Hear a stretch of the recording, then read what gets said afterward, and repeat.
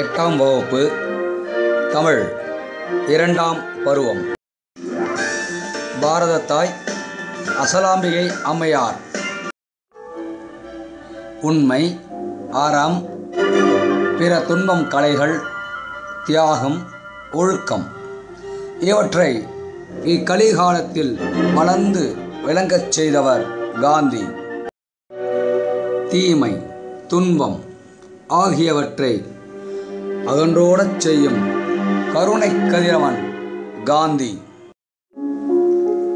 இத்தன்மைகளைக் கொண்ட தாய் உள்ளம் கொண்ட மகாத்மா காந்தியை ஈன்றெடுத்த பாரத தாயின் மலர் அடிகளை போற்றி வணங்குவோம்.